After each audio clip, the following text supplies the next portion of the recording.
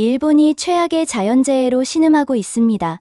최근 2호 태풍 마와르로 인하여 엄청난 폭우가 발생하는 선상 강수대가 일본 전역에서 11번이나 발생하였으며 뒤이은 3호 태풍 구촐과 4호 태풍 타린마저 일본으로 향할 것이라는 유럽과 미국 등의 각국 수치 모델들의 동일한 예측으로 인하여 일본은 최악의 시기를 맞이하고 있습니다. 올해는 엘니뇨 현상의 영향으로 인하여 장마철에 태풍이 더욱 늘어날 가능성이 많다는 전문가들의 예측이 이어지는 가운데 일본의 대지진의 기록을 살펴보면 태풍과 대지진이 세트로 함께 발생한 경우가 많았고 또한 기압의 변화가 클 때에 큰 지진이 많이 발생을 하였습니다. 또한 내일 6월 7일은 일본 대지진을 정확히 맞추고 있는 도쿄대 교수가 6월 7일에 강진 발생 가능성이 높다고 경고하였으므로 우려가 되고 있습니다. 무라이 도쿄대 교수가 뉴스에서 경고했던 지역은 동북 지역입니다.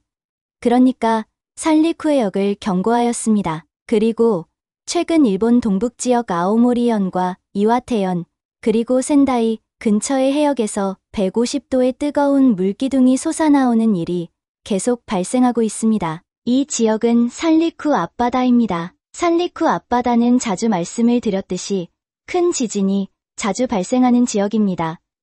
1896년 규모 8.5의 강진이 이곳에서 발생하여 강력한 쓰나미로 인하여 2만 명의 사상자가 발생을 하였습니다. 또한 1933년에도 규모 8.1의 강진이 발생을 하였으며 이로 인하여 28.7m의 쓰나미가 발생하여 3천명 이상의 사상자가 발생을 하였습니다. 문제는 1933년의 거대 지진은 outer rise 지진이었다는 것입니다. 다시 이야기를 서두로 돌려보면 서두의 이곳 산리쿠해역에서 최근 150도 이상의 뜨거운 물기둥이 분출이 되고 있는 것이 발견이 되었고 이곳은 6,600m의 심해입니다.